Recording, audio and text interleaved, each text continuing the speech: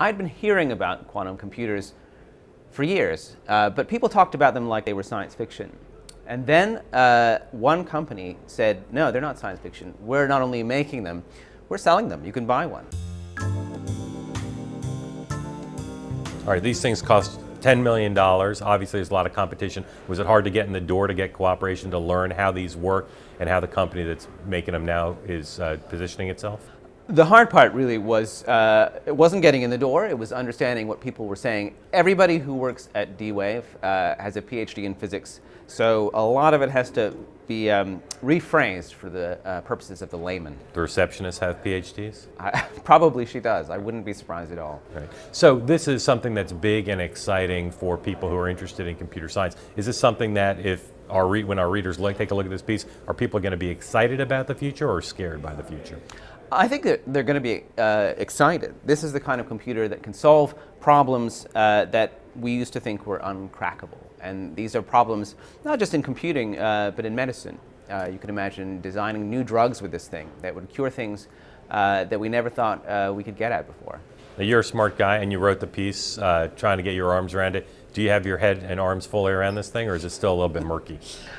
you know, Richard Feynman said, if you think you understand quantum mechanics, you don't understand quantum mechanics.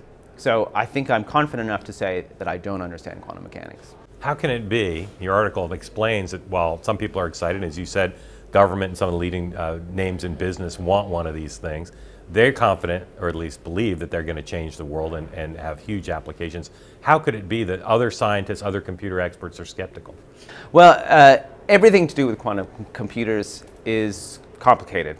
Uh, people argue about whether they're actually achieving the kinds of quantum effects uh, you'd need to do this kind of computing, whether they're asking the computers the right questions, uh, because in some, it only, it'll only answer certain kinds of problems. Other kinds of problems uh, it leaves alone. Everything having to do with quantum mechanics is weird uh, and crazy and uh, uh, subject to many interpretations. and that's why it's kind of hard to pin down. Why does Jeff Bezos believe in this? Well, Jeff Bezos is a smart guy.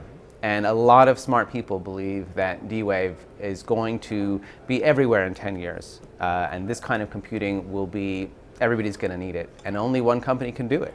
Uh, and if they're right, if they really are onto something, they're going to make billions. Obviously, this can have a huge impact on the economy. In terms of national security, if the U.S. government has these, do we get an advantage in terms of national security or espionage or uh, uh competing with other countries on the economy? We would be able to crack codes that are considered right now uncrackable. And that would certainly give us an advantage, yeah. So everything the Chinese and the Russians are doing, we'd know if we could get this thing up and running? Not everything, but a lot more. Are they selling mostly in the United States? Has anyone else bought them anywhere else in the world, or just American companies and government? They have a few private customers uh, that they haven't announced. Um, I don't think they're overseas. Um, but like Lex Luthor, some, some, some, will they sell them to someone who use, plans to use them for evil and not good? That is a good question yeah. that they'll have to decide for themselves. But there's some secret people who bought these that we don't know about. Yeah. Yeah. You've not purchased one. Did you get a loaner for the story? no, not even that. Have you seen it? Oh yeah, I've seen What does it. it look like? It looks like a giant black box. It's, like how giant? Bigger than, I'd say, a bread box? It is 10 feet tall. 10 feet tall. Uh, and 10 feet square. So like the computers of, of like the 1950s. That's right. It, it looks like ENIAC. Uh, we're back to the days of, um, you know, the thing that fills a room. In the end, if this thing uh, succeeds, it's going to be as revolutionary as what? It's going to be as revolutionary as the microprocessor.